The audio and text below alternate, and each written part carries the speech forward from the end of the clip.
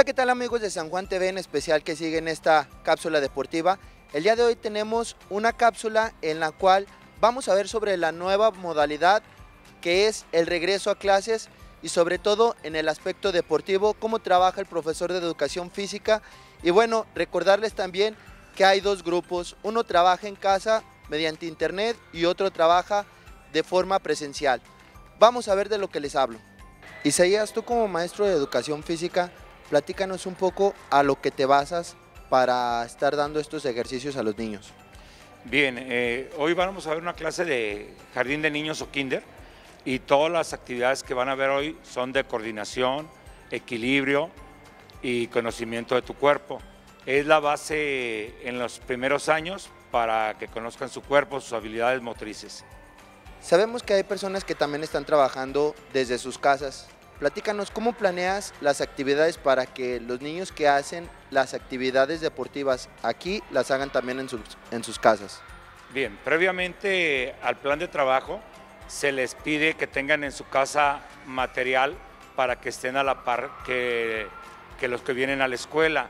Esto es, por ejemplo, van a tener cosas sencillas como un palo o objetos que puedan poner en el suelo, que hagan el trabajo de un cono o un plato o una cuerda para hacer la escalera o el piso de su casa, como lo van a ver el día de hoy.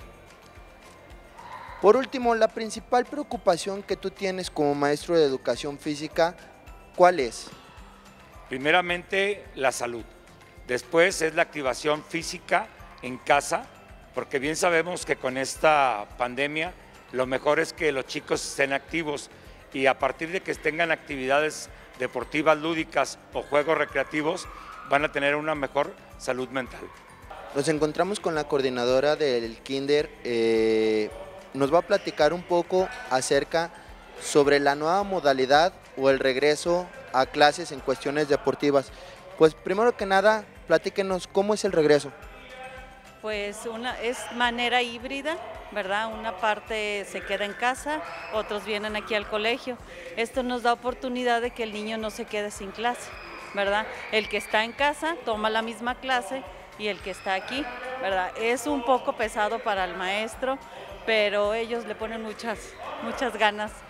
Y esto pues también nos ayuda porque no se quedan sin clase y primordialmente ahorita el objetivo de, nuestra escuela es que el niño reciba la educación que necesita.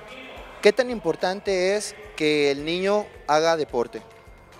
Pues por ejemplo en preescolar es muy primordial porque son las bases para que adquiera la lectura, la escritura, con coordinación, equilibrio. Muchas mamás lo ven como divertido, parte del recreo, pero la verdad, o sea, nos ayuda muchísimo en su motricidad para terminar en la lectura y la escritura.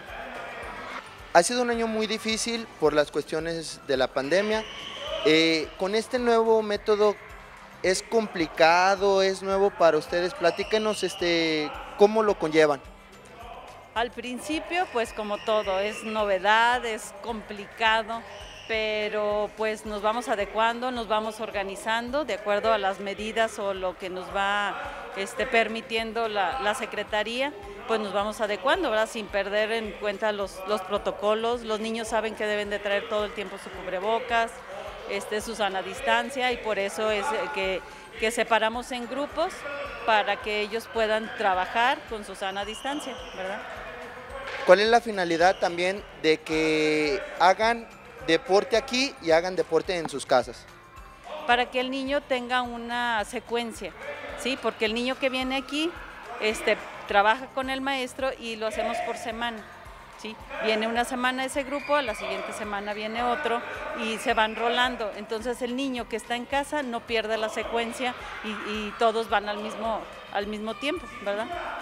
Por último, platíquenos, ¿qué se espera en el próximo ciclo escolar con toda esta nueva modalidad?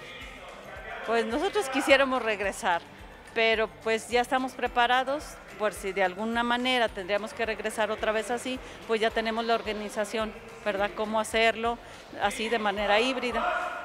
Y bueno, esta es la nueva modalidad con el regreso a clases y pues sobre todo agradecer al Colegio Independencia eh, en Kinder porque nos facilita la posibilidad de grabar estas cápsulas y sobre todo a los papás que nos dan la oportunidad de darle seguimiento a esta modalidad de regreso a clases. Esto ha sido todo por hoy, sigan haciendo deporte.